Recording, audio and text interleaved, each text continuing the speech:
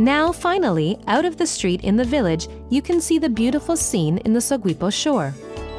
This is Jaguri Coast, where the artist prodigy, Lee Jung Seob, worked and fell in love with seaside of Seogwipo. There are beautiful works describing Seopseom, Munseom, and Bonsum that are charmingly floating on the coastal waters of Seogwipo.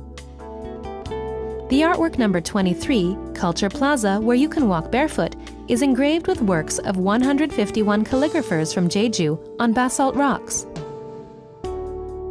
The work was circularly installed on the Lawn Plaza in Jaguri Coast so that visitors can not only see with their eyes but also walk on it.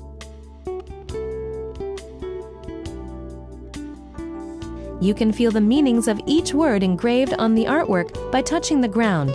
Why don't you listen to the sound of waves hitting the Jaguri coast for a while and rest your exhausted body and mind from traveling?